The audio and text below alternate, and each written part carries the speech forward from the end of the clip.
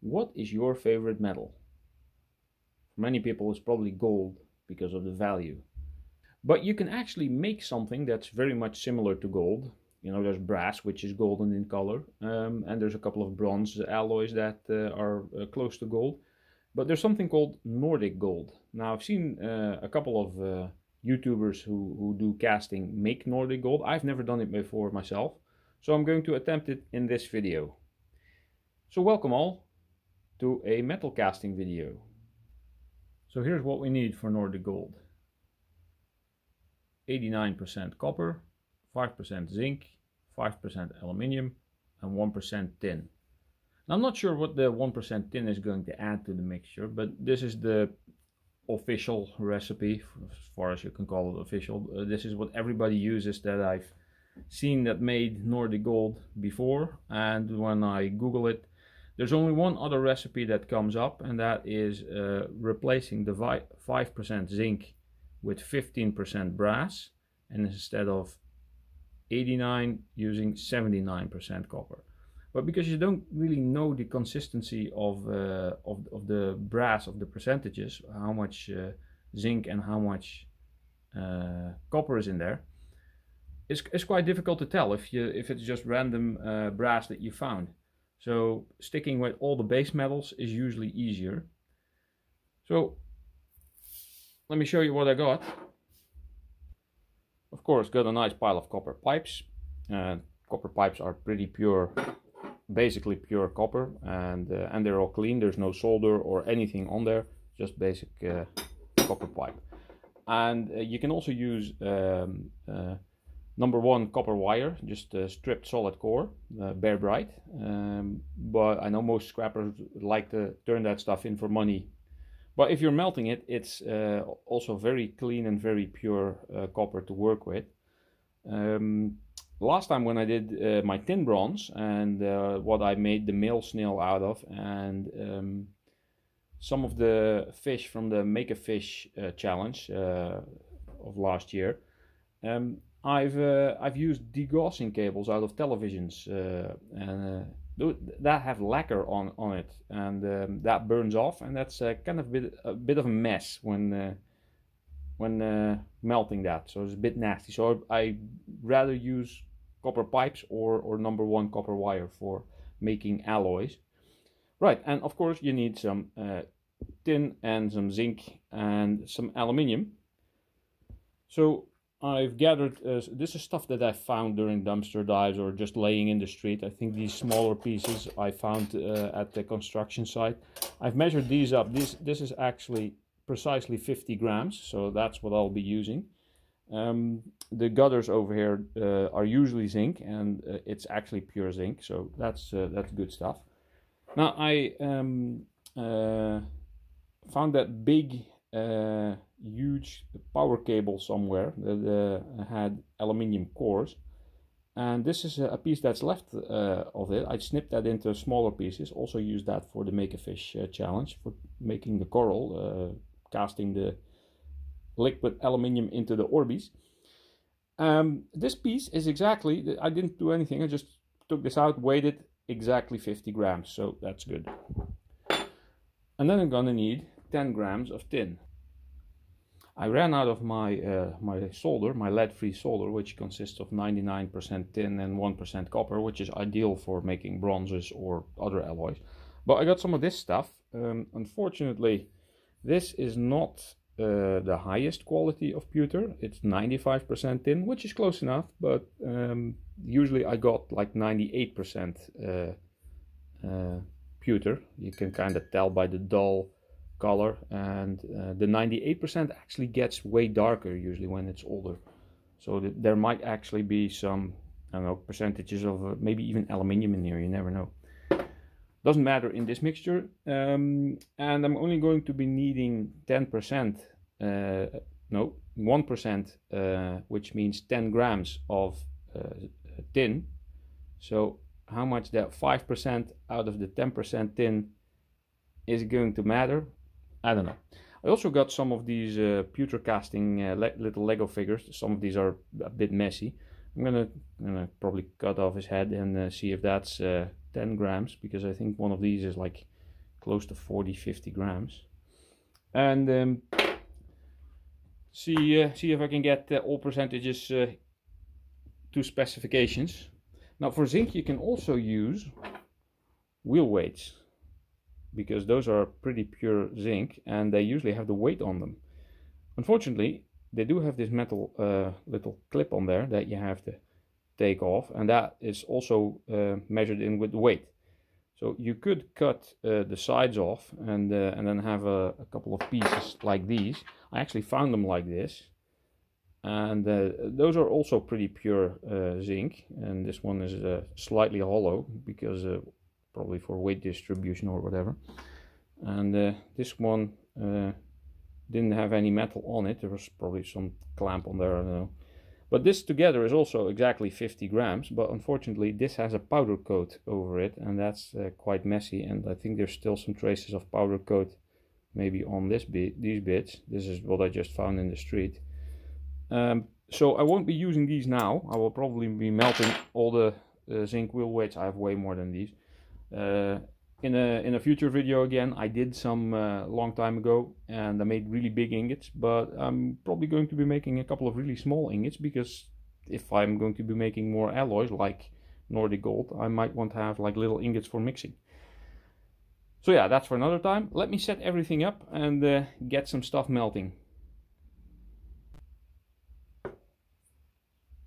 Alright I hereby sentence you to become part of an alloy off with his head. Wonder if this will work. Probably easier said than done. Oh, that actually came off. Right, well, I wonder. Let's see. There we go. Well, what do you know? 10 grams exactly. Awesome. Right, I'm set up for the most part. I got some uh, new crucibles uh, that came in. I actually ordered three of them because the ones I have been using have been worn down quite a bit and when doing pure copper or copper alloys uh, the temperature needs to go really high and it's well best to use a new crucible look at that all nice and shiny because after uh, a short period of uh, running at max with a very worn down crucible for some reason the circuit breakers trip and when using a new one that takes way longer. So yeah um, I cut all the uh, copper into bits that I that are hopefully yeah just about the the length of the crucible.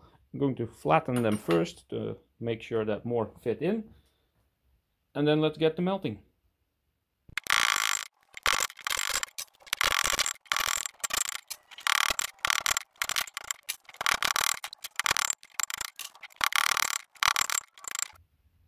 There, all flattened. Now I guess all of this will go in because the crucible is a 3 kilogram one and that's based off of gold. Now who has 3 kilograms of gold? I don't. Uh, but copper is, uh, is uh, more mass per kilogram, so or basically weighs less than gold. So, but this should fit.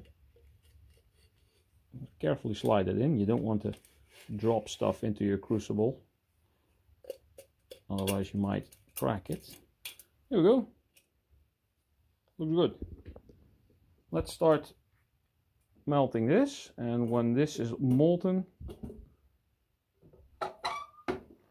when that is molten I'll add the aluminium lowering the melting point wait until that's all nice and mixed then add the tin we'll lower the melting point a tiny bit and then let it cool all the way down until it's barely liquid.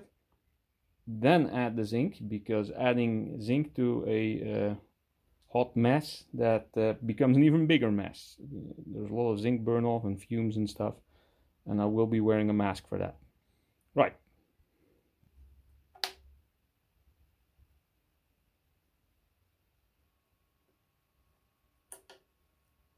Let's make this go to maximum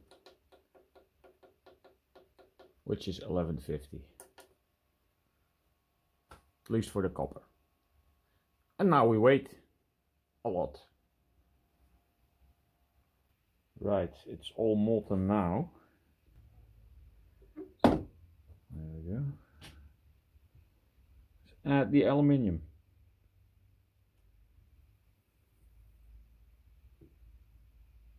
That melts quick. The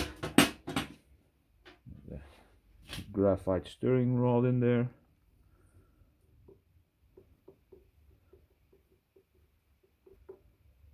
Right. Little Lego man head. They'll melt even quicker. Oop, that wasn't the smart thing to do, I guess.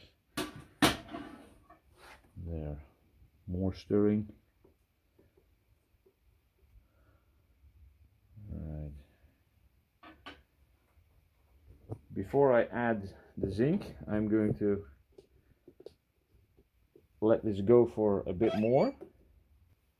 I'm uh, now going to add the zinc, which I uh, wrapped up in a neat little bundle.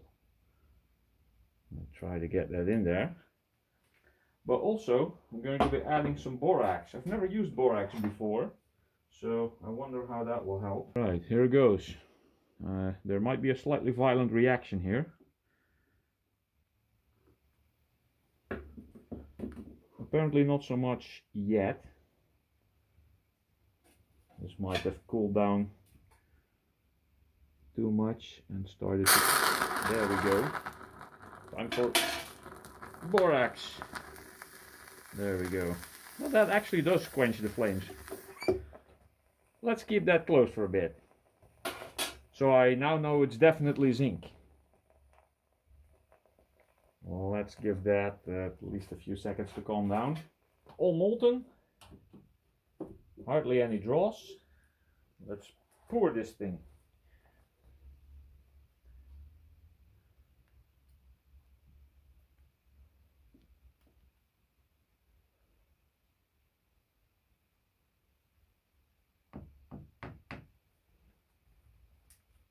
That looks good. Tiny bit left in there.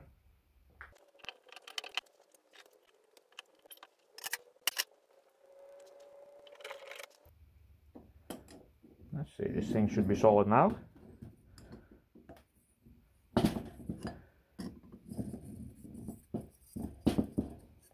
Come on, there you go.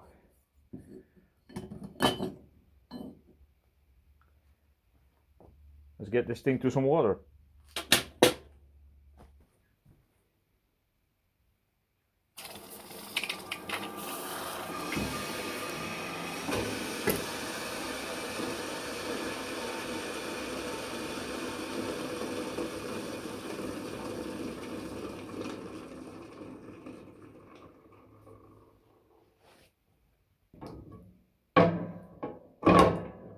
Jesus, that's still hot.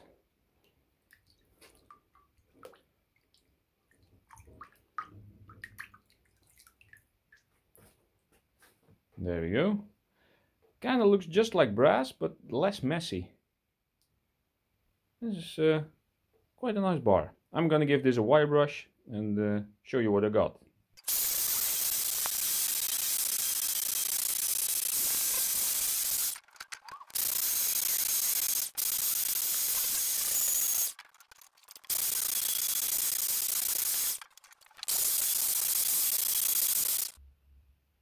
Now that this has cooled down, let's see if some of the little bits still in there. Oh, come here. There you go. It's quite a bit actually. Was there more? Yeah. See what we got.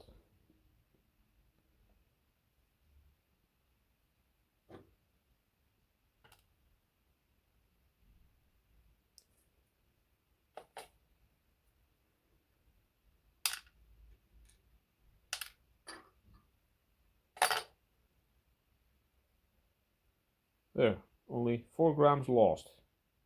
and there's a tiny bit stuck in the crucible still and there's a tiny bit on my stirring rod. So I'm guessing that's going to be close to exactly one kilogram. So not that much of the zinc burn actually burned off. I'm uh, quite surprised. And there we have it. Nicely polished. I can definitely see the appeal to this that uh, many metal casters uh, use uh, Nordic gold or make Nordic gold. Um, I'm going to be using this for a future project involving jewelry, pendants uh, to be exact. Not sure if that's going to work, but that'll be uh, for another video. But for now I'm very content with this little golden bar. I will be making more, but off camera because, well, you got the idea. There you have it. Nordic Gold Bar. My first. Pretty happy with this.